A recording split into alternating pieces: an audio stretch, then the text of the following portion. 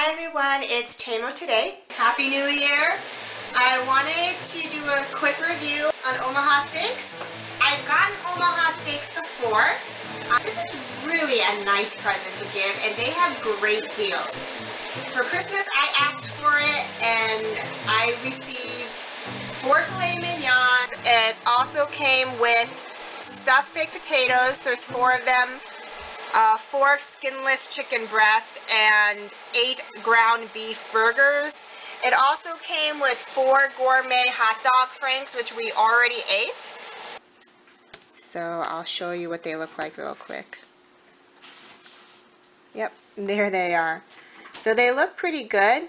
On a scale from 1 to 10, I would give them a 3 because they really weren't to my taste.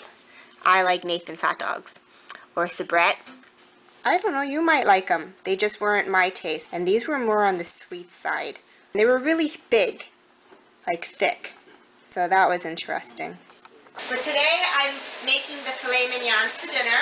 And it comes in this box.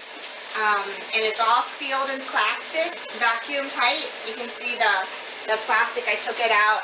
And it also comes with this unconditional guarantee.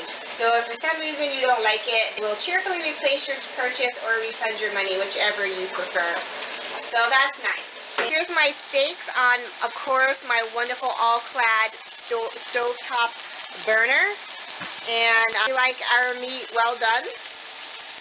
I put this on medium-high heat. I just turned it down a little bit to medium. I put a little bit of liquid amino acids a great alternative to soy sauce. And salt and pepper on there. I got the sea salt and crushed, crushed pepper. So I put that on there before I put it on the grill. And then I pounded it in there with my mallet. And these are already looking lovely. I'm going to cut up some onions and grill them as well. My delicious grilled onions are cooking. I sprayed this with um, Crisco butter spray.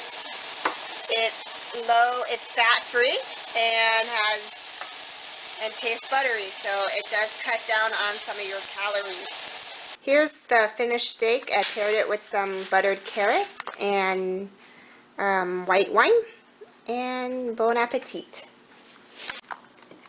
So this is the meat cut up. It tastes pretty good. This is well done, of course. And, yeah, my husband's on his second steak, so it can't be all bad. This is the Omaha Steak website. As you can see, you can get gifts as low as under $50 and going upward. And it's really easy to do. So it's omahasteaks.com. What I really love from Omaha Steakhouse are these apple tarts. Let me show you really quick. Oh my gosh. These are delicious and I really recommend getting these. And um, they do have like different types of, they also have seafood and all different types of um, levels. So if you get the Omaha Steaks Private Reserve, this meat is exceptionally delicious. I have to say receiving an Omaha Steak gift is really a nice day because you are like, great, you know, I have steaks to put in the freezer and meats in the freezer. I don't have to buy any meat for, you know, a while. You're saving some money, which is nice and it tastes really good. You feel like it's special. And, you know, Omaha Steaks has been around for a long time. It says since 1917 up here in the corner. As far as any kind of red meat goes, they're always really good.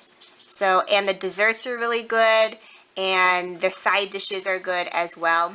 And they all come to you in a reusable uh, styrofoam cooler with dry ice in it and you can also schedule the date that you want it delivered. You can have it specially wrapped.